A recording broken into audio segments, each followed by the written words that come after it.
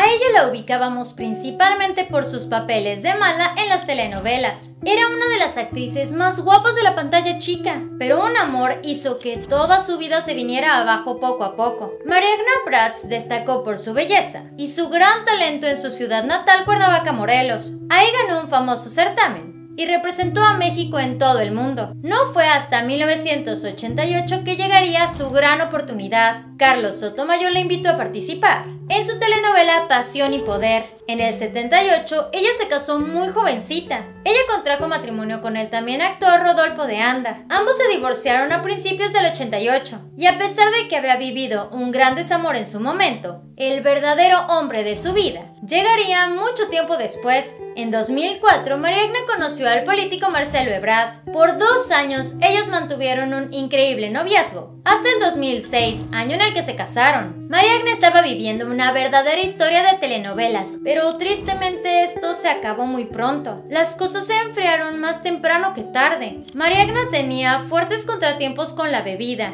y estos rumores estaban circulando por todas partes. Estos fueron confirmados cuando en un evento, al presentar un discurso, Marcela se veía en un inconveniente estado, con alto grado etílico. La actriz estaba balbuceando y dijo muchas incoherencias al estar hablando. Al interpelarlos la actriz, el público únicamente respondió ¡Salud! A partir de ese momento su matrimonio con Marcelo se vino abajo. El trabajo del político le quitaba muchísimo tiempo, por lo que Mariagna se la pasaba sola en su lujoso departamento. Lo cierto es que Mariana nunca pudo recuperarse. Después de terminar con Marcelo, su carrera como actriz también se vino abajo. Para poder calmar todo lo que sentía, Mariagna recurrió a la Debido al estado en el que se encontraba, ella tuvo fuertes caídas que la llevaron a estar hospitalizada por tener fuertes contratiempos en la espalda. Su ex esposo Marcelo Ebrard la ayudó con los gastos y su hija siempre estuvo ahí presente, pero cuando a Mariagna la dieron de alta del hospital, la dejaron sola. A pesar de que Mariagna ingresó a rehabilitación, a la fecha no ha podido recuperarse. Se dice que aproximadamente cada tres horas le aplican una fuerte dosis de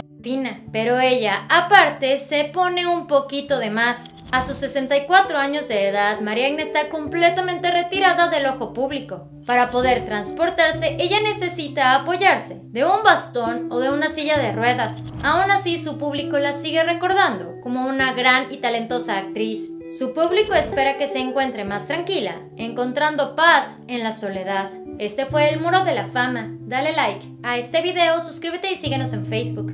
Pero antes de que te vayas, chécate este video. Estoy segura que te va a encantar. Espero que tengas un excelente día. Nos vemos muy pronto. Bye.